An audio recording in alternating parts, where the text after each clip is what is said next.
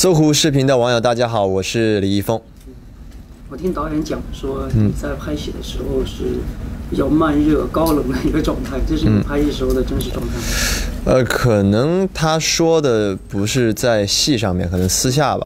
啊，因为我跟何老师已经很熟了，认识了七年了、八年了，可能在跟一些新认识的人上面，我可能是这样的。因为在拍《栀子花开》的时候，我我可能注意力一直都是在在这个角色、这个戏上边，可能下面过后，可能他们在轻松的在聊天什么的，可能我还在去想后面的那一场戏我应该怎么演，因为它是我第一部，呃。作为主角的一个大荧幕的作品，我也是希望他会有一个很好的状态呈现给大家。嗯，其实从《古剑奇谭》之后，大家感觉是很多电影都在找你演啊。嗯，会不会觉得自己是不是其实是要推到很多项目，其实还蛮难的？我觉得这是一件非常幸运，对演员来说非常开心的一件事情啊！以前没有这样的机会，没有人想说。能够找去找一下李易峰，哪怕演一个小角色也可以，没有那样的机会。现在有这么多电影找过来，我觉得我真的非常非常的开心。那有时候没办法，有时候因为时间，你接了这个势必要舍弃那个，这是一个非常艰难的决定。因为嗯，每一个每一个来的呃剧本啊什么的都都非常的棒，嗯。比如，比如我们听说，呃，张艺谋的《长城》是因为档期的原因断掉了。嗯，非常非常的遗憾，没有有机会去跟跟呃国宝级的导演国师去去学习去拍一个电影，因为因为因为这样，对，也非常的也非常难过了。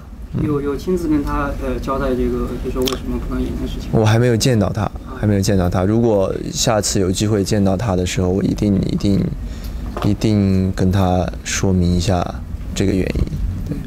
对，其实也有一些人会会这样说，啊，就说呃，当一个当一个演员火了之后，可能他长得长得漂亮，嗯，刚刚开始那个阶段是其实是大家电影公司或者说一些呃新的项目在消费他美色的一个阶段啊。嗯，你觉得你这个阶段会会很长吗？我希望永远都会这样。对，当你大家都不想再看你的时候，你没有任何价值了，也谈不了消费你了，就大家都不想消费你了，那就就就没有意义了。我希望，呃，也愿意去消费我的我的我的脸，也愿意去肯定我的表演的方式。嗯。今天上午那个发布会我也去了，其实就看你后后面的这几个电影的项目，实际上是各个类型的都有。我不知道是不是你有意在安排，就是各种各样的尝试。这都是公司安排的，他们有一个很好的一个帮我每个阶段去去去策划去想。